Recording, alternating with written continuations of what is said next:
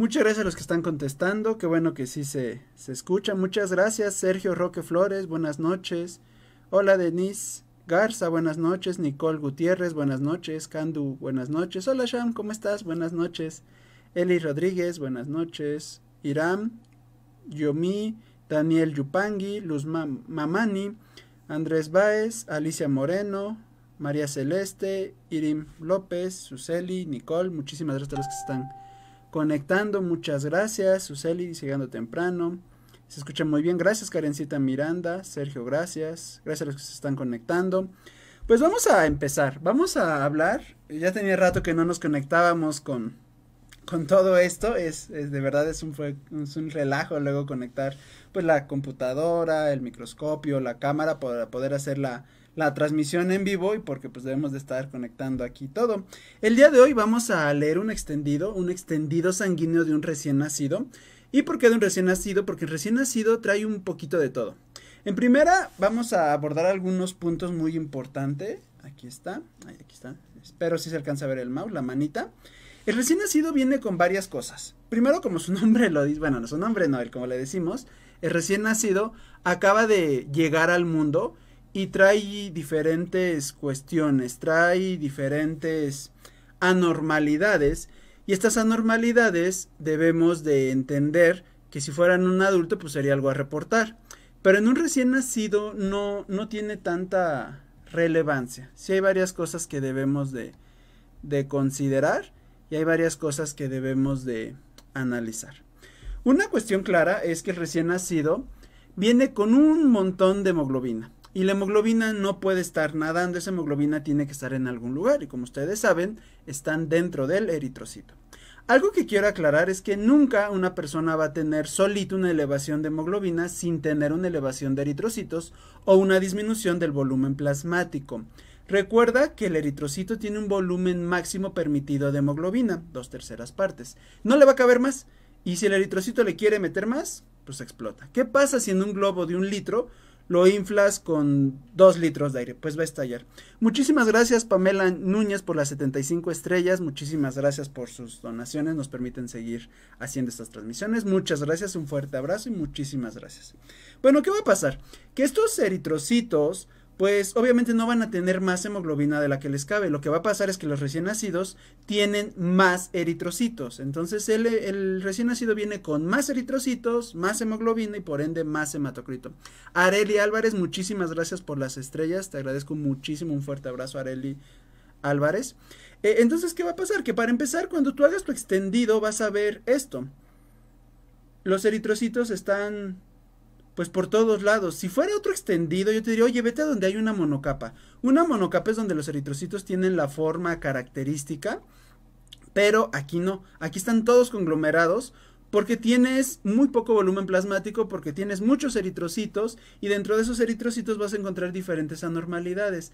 Hay muchas cosas que puedes llegar a ver, entonces no te preocupes, no vas a poder tener un campo completo de observación. Una monocapa como me gustaría decirte que la vas a encontrar, aquí no, aquí vamos a ver esto, los conglomerados, así como se ven, y vean, hay zonas donde se alcanzan a ver estos espacios, que si vemos aquí es porque ya había poquita sangre, vean aquí cómo se ve este espacio donde no hay eritrocitos, es porque estamos en la parte final, o porque tienen mucha grasa, también es algo que podemos llegar a encontrar, esto es más común en médula ósea.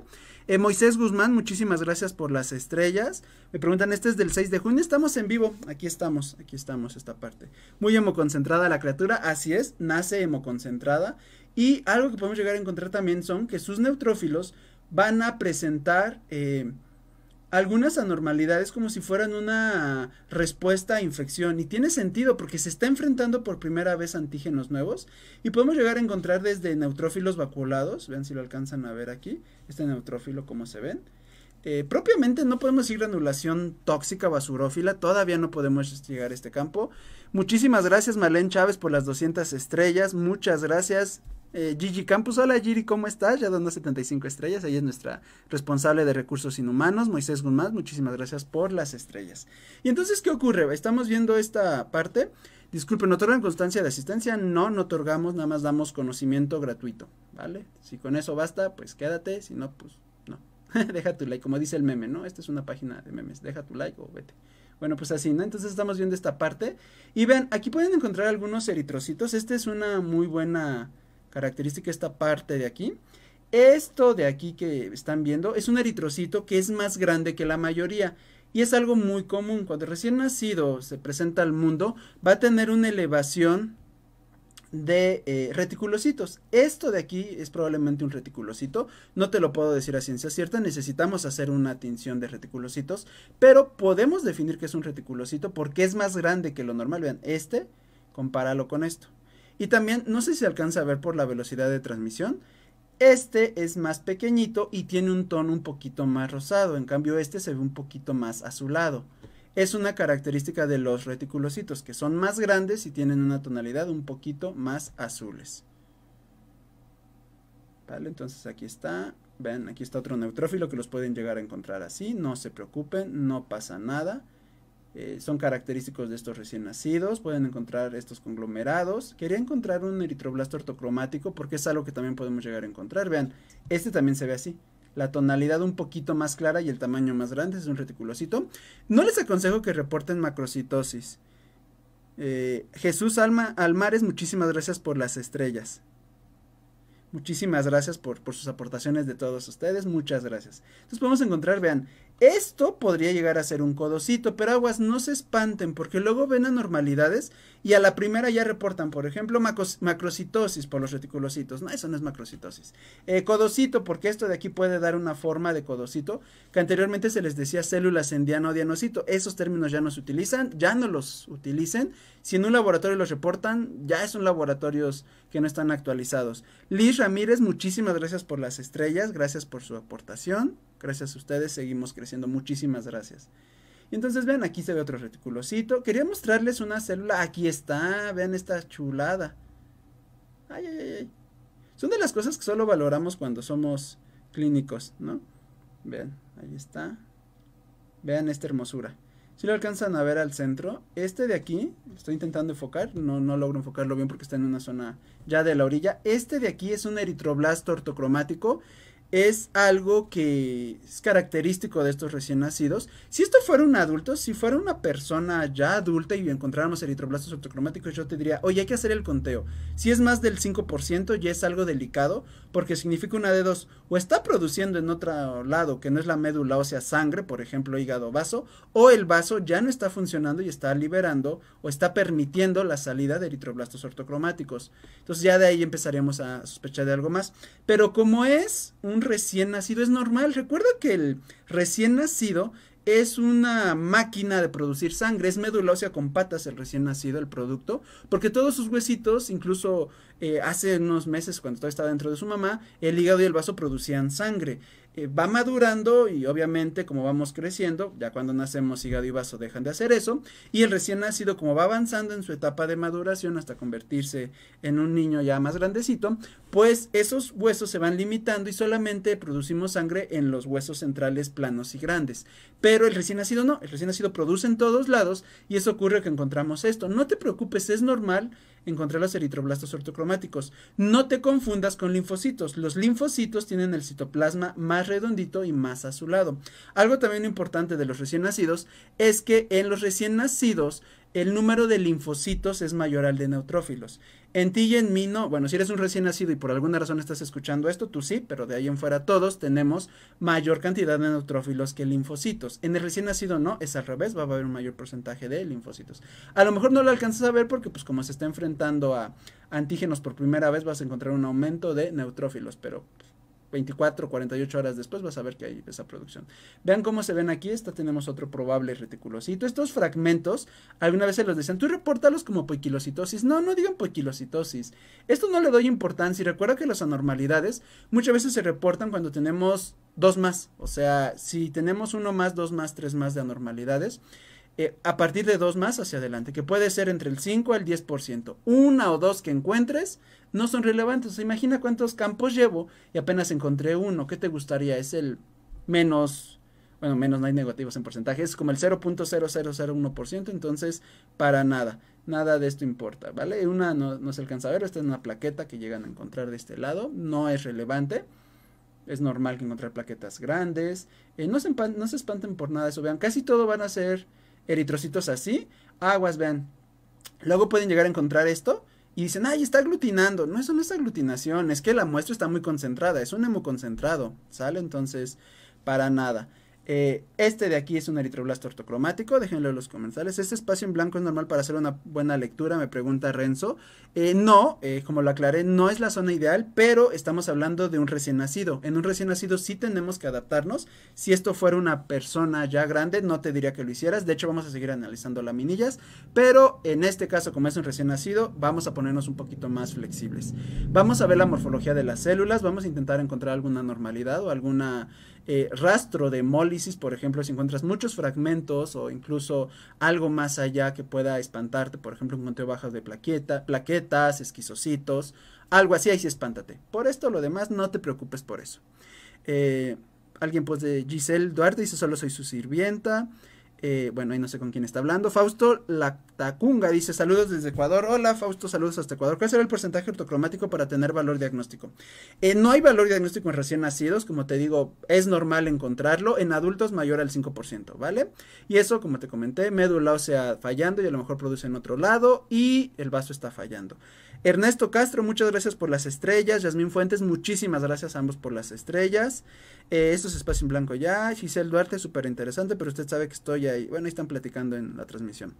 ¿Cómo se reportarían en un adulto los eritroblastos? Bueno, en primera los eritroblastos no los vas a contar en tu diferencial, son tus 100 leucocitos y punto y aparte pones eh, en cuántos campos. Haces el conteo de eritrocitos y ves cuántos son ortocromáticos. Ten cuidado porque tu equipo automatizado los puede confundir y en vez de recoparte leucocitos te está reportando eritroblastos ortocromáticos. Hay que hacer corrección, que en nuestro canal en YouTube pueden encontrar todas estas fórmulas. Eh, hola Mariana, ¿cómo estás? Mariana Ávila trabaja con nosotros, es nuestra creadora de contenido. Sharemi Tours Montiel, bueno, yo la conozco como Sharemi Montiel, ella es nuestra responsable de marketing, fue la que me puso a hacer transmisiones ahorita en vez de irme a dormir. Eh, Néstor dice, primera vez que lo veo, los felicito, gran información. Muchísimas gracias, Néstor, síguenos más. Eh, de constancia quedamos que no va a haber. Luz Ramírez, muchísimas gracias por las estrellas. Y bueno, seguimos. ¿A qué edad comienzan a vérselos ya como, como un adulto? No entiendo su, su, pregunta. ¿Qué edad? Pues no, no se deben de dejar de ver. Aproximadamente un recién nacido hasta los... Eh, un neonato, mejor dicho, lo consideramos hasta los 21 días. Después de ese tiempo ya no deben de aparecer. Vean, voy a dar un recorrido rápido al extendido. Vean, aquí está. Y vean esto. Esto, esta joya. Bueno, no joya porque hay muchos, pero ahorita lo digo joya porque lo necesito. Ahí está. Vean esto. Esto de aquí para nada es un eritroblasto ortocromático. De hecho, para empezar, eh, yo lo alcanzo a ver bien en el microscopio, pero en la transmisión no se alcanza a ver muy bien. Eh, esto de aquí es un leucocito, específicamente un linfocito. Aquí no sé si lo alcanzan a ver por la transmisión, se ve el borde del citoplasma que es azulado y que eso hace que nos dé una diferencia entre un eritroblasto ortocromático y un linfocito. El linfocito, incluso puede ser prolinfocito porque aquí se alcanza a ver un nucleolo y la calidad de la imagen todavía no es tan buena porque pues estamos transmitiendo en vivo y eso hace que se haga un poquito más lenta. Desde aquí lo alcanza a ver bien. Puede ser un nucleolo, esto sería el núcleo y esto sería el citoplasma, entonces puede ser un prolinfocito, no nos metemos en problemas si es un linfocito. No sería raro que lo tuviera, vaya, no es anormal. Vamos a seguir viendo los campos. Vean cómo se empiezan a conglomerar. No pasa nada, no, no es algo raro. Si fuera un adulto te regañaría brutalmente si lo lees aquí. Pero en un recién nacido no, no vas a tener un mejor campo. Miren, me voy a hacer hacia adelante y vean cómo se empiezan a ver. Y en un adulto pues yo podría buscar una monocapa y una buena zona de, de lectura, pero no. Esto es un recién nacido. Y así se ve. Y entonces, si me voy hacia adelante, vean, ¿Qué pasa? Que también el recién nacido tiene muchas proteínas en plasma y eso favorece este tipo de uniones. Los eritrocitos no se acercan tan cerca a los eritrocitos porque tienen algo que se llama cargas iguales y algo igual con algo igual se separa. Eso es gracias al potencial Z. La carga excesiva de, de estas proteínas por procesos proinflamatorios, porque está conociendo al mundo por primera vez, neutraliza estas cargas y se pegan y aparecen estas cosas. Entonces no te preocupes por esto. Esto es nada más que estoy muy adelante del extendido. Entonces ahí no lo puedo leer me voy más para atrás y vean cómo no se soluciona el problema. Medio se empieza a ver, pero no tengo algo que no, que es una buena monocapa. Eso nada más es una célula destruida. Al momento de hacer el extendido se, se despanzurró. Y probablemente sea un eosinófilo. No te lo puedo asegurar. Ni siquiera te aconsejo que cuentes esto. Yo nada más lo digo por los gránulos. Y para verme serio y profesional delante de ustedes. Pero pues, no, no tiene caso. Esto es una basura. Y si ven los rayones es porque a la hora de hacer el extendido, como es bastante espesa la muestra, luego jalamos de más y la conservamos porque pues era un recién nacido de las pocas que, me dejaron tener. Este niño tenía apenas minutos, digo minutos, ella ando ahí ni que fuera el papá. Este, bueno, que nada, no es cierto. este, eh, tenía unas horas de nacido y ahí está. Este es un neutrófilo, vean cómo se alcanza a ver, como algunas células no tienen la morfología característica que veríamos en un adulto, pero no te espantes, así se ven, no pasa nada. Eh, Alexa JD, muchísimas gracias por las estrellas. Eh, se observan dacriocitos también, ¿no? Eh, sí, no, yo tendría mucho cuidado. Los dacriocitos, que son las células, los eritrocitos en forma de gota, hay que tener cuidado porque como la sangre es bastante espesa, a la hora de hacer el extendido, si lo hacen con mucha fuerza, los llegan a creer crear. Y aparte los dacriocitos, para que sean importantes, recuerden, debe de ser arriba del 5-10%. De hecho, para dacriocitos es del 10%, si mal no recuerdo. Uno no hace la diferencia y además los dacriocitos son importantes porque significan displasia. Cada vez que vean un porcentaje importante de dacriocitos significa que hay displasia. Eso de displasia son morfologías aberrantes debido por un daño en la médula o una sobreproducción. Y aquí no, pues está acostumbrado a producir eso y de hecho con los días siguientes va a producir mucho menos. Eh, ¿Cuáles precursores linfoides o mieloides son considerados normales en un recién nacido y por qué? Hablando de linfocito. Pues puedes encontrar de todos. Hay literatura eh, donde puedes encontrar esta parte. ¿Qué no te, qué no te diría que vas a ver? Eh, blastos. Blastos no tienes por qué verlos, pero además pues sería un recién nacido no va a tener leucemia, no, no vienen de nacimiento. en recién nacidos es indispensable la lectura en la parte final. En todos los extendidos tienes que leer hasta el final, en la, en donde está la, eh, la cola entre cuerpo y cola al principio, bueno, en esta última parte, es que es cabeza, cuerpo y cola. Eh, entre la parte final del cuerpo y la cola, ahí tienes que leer, ¿vale? Y de hecho, pues, lo mejor es que vayas viendo donde hay una monocapa. Si tienes dudas, no te, no te preocupes, sigue viendo nuestras transmisiones para poder ayudarnos. ¿Qué es lo más parecido? ¿Cuál sería la zona ideal para leer en un recién nacido? Esto. Esto es lo mejor que pueden encontrar. ¿Por qué? ¿Y cómo sabes que esta es la mejor zona? Y tienes que buscar todo. Lee todo el extendido y donde veas, por ejemplo, yo me fui hasta adelante y me fui hacia allá. Recuerda que cada paciente es una problemática diferente, que no te puedo decir exactamente hazlo con tal grado, con tal sangre y vete al punto tal, ¿no? Eh, es como el punto G, todos lo encuentran de diferente manera, pero el chiste es que encontrarlo y hay que buscarlo y date tiempo para encontrarlo. Y aquí es esto, vean, en esta zona los eritrocitos ya tienen una morfología redondita, esa es su morfología ideal. Y entonces cuando tú estés en la forma en redondita, donde lo veas así, digas, ahí yo veo un eritrocito como debe de ser, y están distribuidos de forma más o menos similar, ahí es, ¿vale? Así como te dicen, este, donde te paguen sin trabajar, ahí es, algo así aquí es, donde los eritrocitos estén redonditos y tengan su forma característica, ahí es, ¿vale? Eh, nos envían un excelente como siempre. Saludos hasta Argentina. Nancy Salguedo, saludos hasta Argentina. Las muestras de donatos tienden a coagular en menos tiempo de lo normal. ¿Y por qué? ¿Y qué cuidado se deben tener para introducirlos en un equipo que tienden a obstruirlos en microcoágulos? Ok, los neonatos tienden a coagular. Pues primero aquí no, porque pues esta es una muestra de sangre total y debes de tener anticoagulante para que eso no ocurre. Ahora, en hablando de química sanguínea, sí coagulan más rápido porque comentaba tienen un exceso de proteínas, entre ellos la fibrina bueno, el fibrinógeno que pasó a fibrina y tiene que estar ahí. excelente. ¿Cuál sería el reporte adecuado en bebés de un extendido sanguíneo? Es difícil la, la, pregunta, sí, este, más adelante lo vamos a platicar, igual tengo, en el canal de YouTube tengo un poquito más definido esto, lo importante sería lo que te marca la, tu, biometría hemática y en observaciones, que vieras ahí blastos, que vieras signos de hemólisis, que vieras eh, o codocitos, pero eh, ya más de lo normal. Puede ser que el niño sí nazca con algunas otras alteraciones más importantes, por ejemplo, los eritroblastos ortocromáticos binucleados. Obviamente aquí no lo vamos a ver, pero podemos encontrar en una talasemia. A ver, les pongo una talasemia, aprovechando que estamos aquí. Digo, pues ya estoy montando todo. Y este, pues ya estamos aquí. Esta es una talasemia, se las voy a poner. A ver si no me hace quedar mal la talasemia. Y van a ver ahí si hay otros tipos de anormalidades que ella diría, oye, esto sí ya no, ya no me está gustando.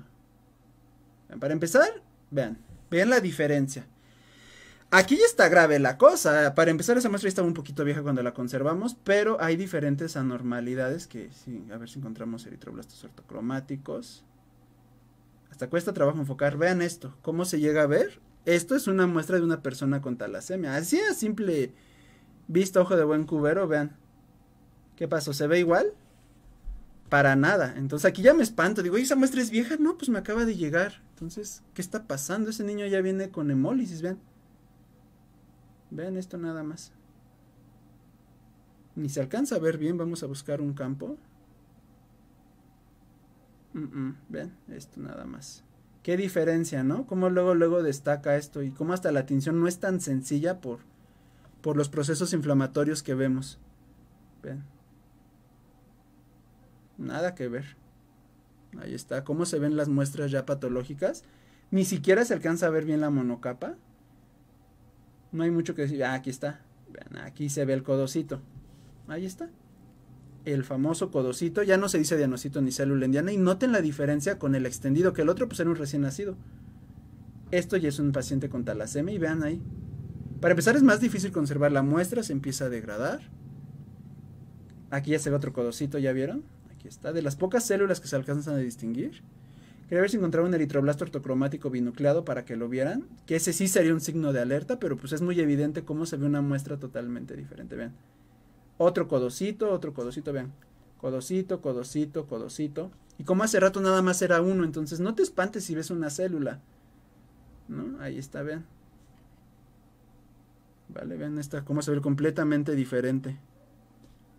¿Vale?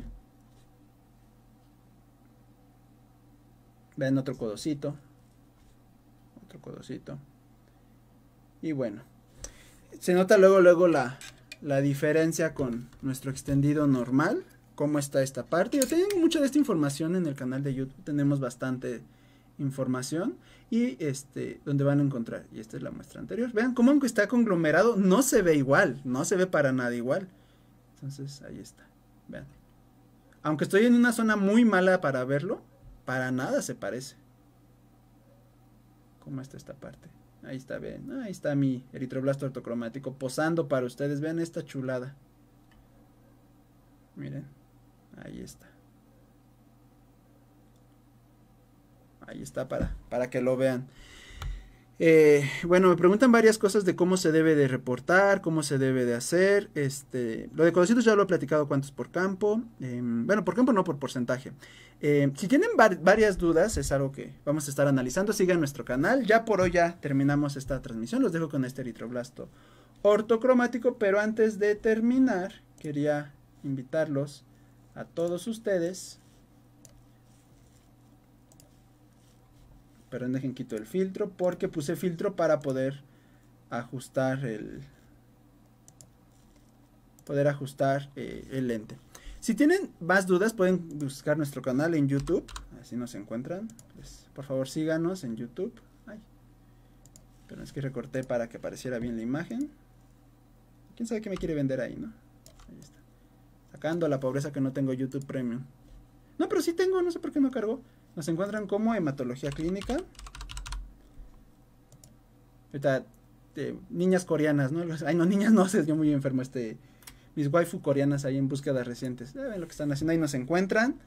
Está todo, vean, están los videos, tenemos técnicas eh, para los que tienen dudas, cómo utilizar alguna de las cuestiones. Vean, tenemos eritropoyesis, cómo se puede ver, microscopios, eh, tinciones, eh, pruebas de hemostasia, algunos vídeos graciosos, tenemos introducción a los líquidos corporales, hay varias cosas que pueden encontrar, miren, de, bioquímica clínica, tenemos casos clínicos para los que tienen dudas de cómo se reporta, por favor ahí nos pueden encontrar, y también nos pueden buscar en nuestra nueva plataforma en academiahematologiaclínica.com, así se meten, buscan academiahematologiaclínica.com y este, ahí están les abre esta página, vean todo lo que pueden adquirir por solo 127 pesitos al mes. Ustedes tienen acceso a pláticas de aproximadamente una hora con expertos. Este mes tenemos las técnicas correctas para hacer un examen general de orina con el químico Daniel Naranjo. Tenemos los videos del mes, flebotomía con el químico Carlos Jaramillo, un enfoque diferente.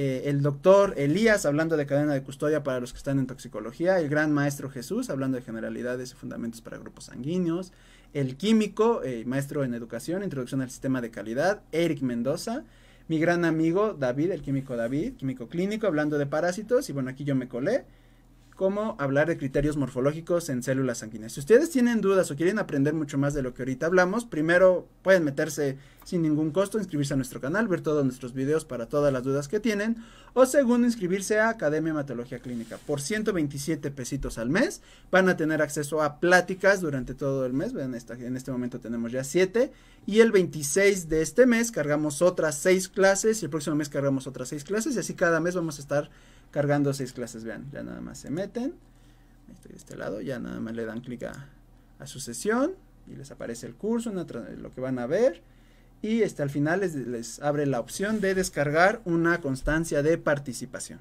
¿vale? Para que ustedes digan, ah, miren, sí tomé el curso con hematología clínica. Em, para que estén ahí todos, ¿vale? Porfis comparte cómo buscar en YouTube, ya les puse como hematología clínica, ahí están. Y si tienen dudas de academia, déjenos su correo. Nada más tienen que meter en el buscador Academia Hematología Clínica todo de corrido y así les va a aparecer. O si por alguna cuestión no pueden buscarlo así, pues déjenos su correo y le hacemos llegar toda la información. Ven, aquí está. academiahematologiaclínica.com y los esperamos. ¿Vale? Eh, ¿Tenemos alguna constancia de asistencia a estos cursos? Sí, como lo comenté, sí, sí hay. Igual está toda la información. Si tienen preguntas frecuentes, bueno, preguntas frecuentes no. Si tienen preguntas, aquí abajo está todo descrito, vean. Los de valor curricular los encuentran en nuestra página principal, que es Hematología Clínica Online. Son cursos de 20 horas, pero obviamente no valen 127 pesos al mes. También necesito comer. ¿Vale? Las clases se quedarán guardadas mes con mes. Así es. El próximo mes hay otras 6 y te dejamos las 6. Entonces ya tendrán 12 y dentro de un mes 18. ¿Vale? Em, estos videos van a desaparecer, se van a ir acumulando más por mes, se van a ir acumulando. ¿Qué más? ¿Qué más? ¿Cómo buscarnos? Como hematología clínica. Gracias, espero, gracias. Saludos hasta Guatemala, María. Eh, ¿Cuándo actualizan otros cursos en la academia? El 26 ya los tienes, te lo prometo, Alex. Muchísimas gracias, Verónica. Ay, Verónica, ¿cómo estás? Muchas gracias por las estrellas. Ya tenía rato que no sabía de ti. Gracias por el espacio. Tardé en entrar. No te preocupes, aquí están. Mis waifus coreanas, dice Química aquí no. Ah, ya me quemé. Eh, muchísimas gracias a todos los que están conectados. Muchas gracias por las preguntas. Si tienen alguna duda, eh, pues pueden conectarse al canal de YouTube o a nuestra academia para que lo vean. Muchísimas gracias a todos. Ya me voy, que ya es noche. También ustedes ya desconectanse que les va a pasar el hola hermosa que andas haciendo. No faltan de esos. Muchísimas gracias, eh, los que ya están hablando. Eh, Yeya DJP, muchísimas gracias por las estrellas. Verónica Cortés, gracias por las estrellas. Eh, Gavisita AT, gracias por las estrellas. Em, ¿Qué más? ¿Qué más? Bueno, ya. Muchísimas gracias a todos. Muchas gracias. En la página de academia se suscribe, ¿verdad? Sí, por eso son los 127 pesos. Pero no te preocupes. Si dices, no, yo prefiero pagar Netflix Academia, tenemos nuestro contenido gratuito en YouTube. Obviamente es eh, pues diferente contenido. Porque pues también tenemos que separar ese. Pero bueno, vas a tener mucha información para que puedas eh, aprender. Eso es lo importante. Igual tenemos cada, recuerden, cada lunes estamos liberando artículos. Sigan nuestra página para que los encuentren. Tenemos una vez al mes un curso gratuito con valor curricular. Apenas pasó eh, un curso pequeño de banco de sangre. Por favor, síganos en todas nuestras redes. Nos encuentran como Hematología Clínica. Y bueno, nos vemos hasta la siguiente. Muchísimas gracias. Que descansen. Bye. Déjenme cómo apago todo esto. Bye.